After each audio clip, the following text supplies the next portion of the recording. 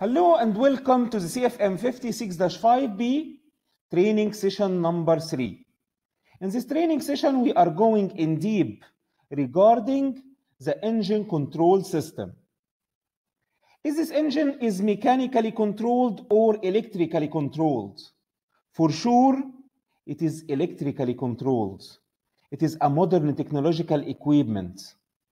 So it has an advantage with the full authority digital engine control, or what we are calling it in aviation, the FADEC principle. So let's going in deep within the engine control system. In order to increase engine reliability and efficiency, the full authority digital engine control FADEC gives the full range of engine control. This is to achieve steady state and the transient engine performances when operated in combination with aircraft subsystems. Each engine is controlled by an electronic control unit or ECU. It is a dual channel computer located on the engine fan case. This electronic control unit controls the engine during start and all operations. And the electronic control unit manages engine thrust and protects against overspeed and over temperature. This is by controlling the engine subsystems. So, the electronic control units also monitors all engine subsystems and the sensors for failures. When the engine is running, power for FADEC operation is supplied by a dual output FADEC alternator located on the accessory gearbox and driven by the accessory gearbox. So, the FADEC is an engine control philosophy, or it is a system, has a dual channel ECU and the following peripherals, like the hydromechanical unit, dedicated FADEC alternator, compressor control systems, clearance control systems, start system, thrust reverser system, oil fuel temperature control system, fuel return valve, engine sensors, and electrical harnesses. So, the FADEC system is a philosophy for control the engine.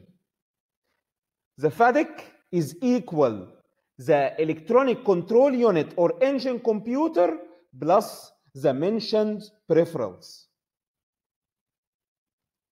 So, the electronic control unit interfaces with various aircraft systems. Essential communication with the electronic control unit, like the thrust lever position and air data, is directed to and from the applicable systems and controls. But what about the non-essential communication? Non-essential communication like auto thrust, centralized fault display system, is routed through other computer, which is the engine interface unit of each engine. The engine interface units interface with various aircraft circuits and systems. And the data is then transmitted in a single stream to each ECU channel. So what about our third computer, which is the engine vibration monitoring or engine vibration monitoring unit.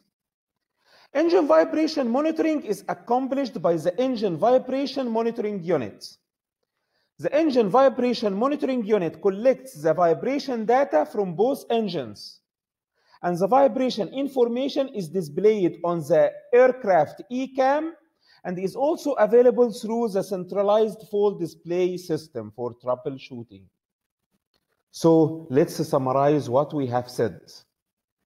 The CFM 56-5B engine has three computers, which is the electronic control unit, engine interface unit, and the engine vibration monitoring unit. This is our training session for today. Please stay tuned for the next training session regarding the CFM 56-5B thrust reverser system. Thank you and goodbye.